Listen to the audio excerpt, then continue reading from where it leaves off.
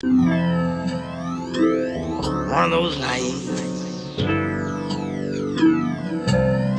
Warm beer, cold women. No, I just don't fit in.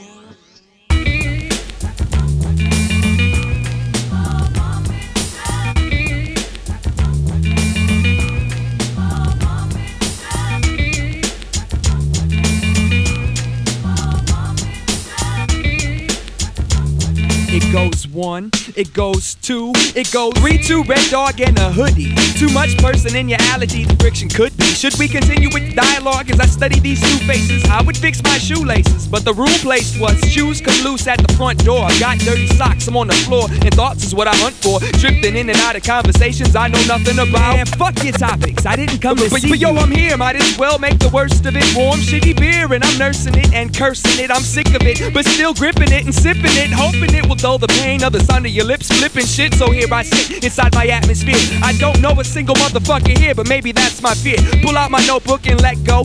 Introspectro, sep, not so pleased to meet you. And I hate techno. I only came to see the girl that lives here. TW number 11, cold women, warm beer. I only came to see that girl that lives here. TW number 11, cold women, warm beer.